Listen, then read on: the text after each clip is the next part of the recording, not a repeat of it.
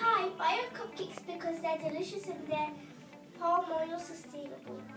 And the money we get for buying our cupcakes will go to, to the orangutan sanctuary and from there we'll go to the orangutans in need. Well, I would love to